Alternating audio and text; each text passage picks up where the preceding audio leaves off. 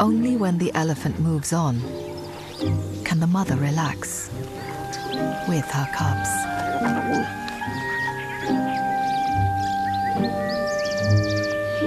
She has two, a male and a female.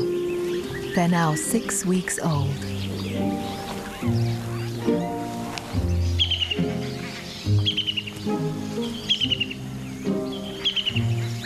The two cubs differ from each other. The female is more playful, her brother more timid. And there's no disputing who's the boss.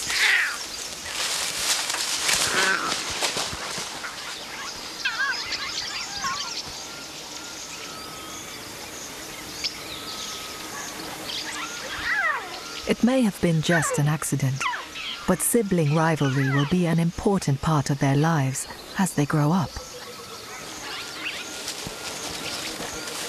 Lion cubs are characters from the start, whether bold, playful, or nervous. Within a litter, cubs' behavior is more varied than between litters. Scientists now understand that being different to your siblings must be important, at least in lions. Perhaps it means they're less likely to compete with each other.